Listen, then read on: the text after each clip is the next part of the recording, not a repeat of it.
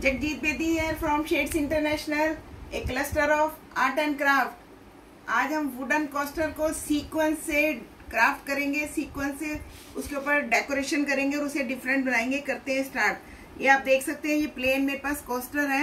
ये मेरे पास सीक्वेंस है अलग अलग डिज़ाइन के। बहुत सारे मेरे पास डिज़ाइन है बट मैंने दो तीन निकाल कर रखे हैं। आप देख सकते हैं। तो करते हैं स्टार्ट ये मैंने व्हाइट लिया और इसके ऊपर मैंने किनारे पर ग्लू लगाई इस तरह से। और मैंने ये सीक्वेंस लगाने शुरू किए। आप देख सकते हैं, बड़ी आसानी से लग जाते हैं ये, इस तरह से। मैंने किनारा भी देखना ये किनारे से बाहर ना निकले। आसानी से लग जाते हैं ये इस तरह से। देखिए, लग गई है आसानी से, पूरी लेयर लग गई। ये देखिए, कितने सुंदर लग रहे हैं, कितने अच्छे लग रहे हैं और बड़े सिंपल हैं और बिल्कुल चिपके हुए हैं एकदम। मतलब ये उभरे हुए भी नहीं है, कोई भी चीज़ इसके ऊपर रखेंगे तो गिरेगी भी नहीं। इसी तरह से हम इस तरफ़ भी लगाएँगे। ये मैंने लगा दिए इस तरह से। देखिए, बिल्कुल सिंपल और बहुत ही अच्छा है और हमारे पास घर में सीक्वेंस बचे होते हैं, कभी सूट के लिए या किसी चीज़ के लिए लें तो सीक्वेंस बच जाते हैं। तो ये देखिए, मैंने आसानी से लगा दिए।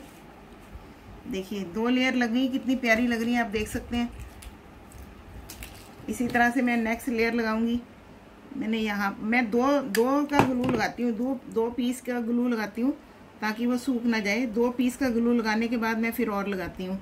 तो आप भी इसी तरह से कर सकते हैं। जितने ग्लू को आप हैंडल कर सकें गरम गरम को, उतना ही आप लगाएँ। ये देखिए, मैं दो का कर पाती हूँ तो मैं दो दो करके लगाती हूँ। ये देखिए, बिल्कुल आसानी से लगे बहुत प्यारे लग रहे हैं, आप देख सकते हैं।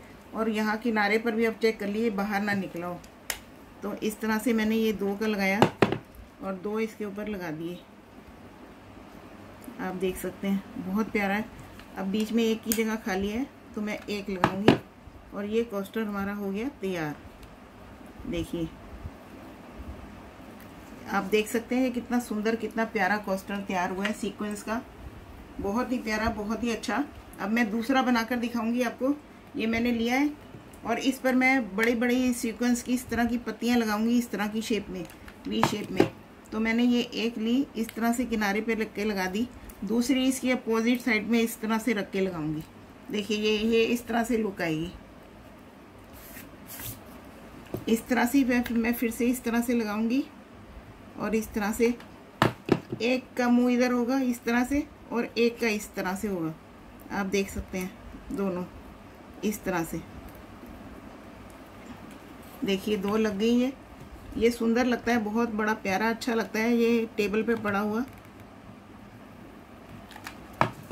ये एक मैंने इस तरफ़ से लगाई और एक तरफ़ मैंने इस तरफ़ से लगाई। आप देख सकते हैं। अब मैं एक और लास्ट वाला कॉर्नर लगाने जा रही हूँ। ये मैंने इस तरह से लगाया।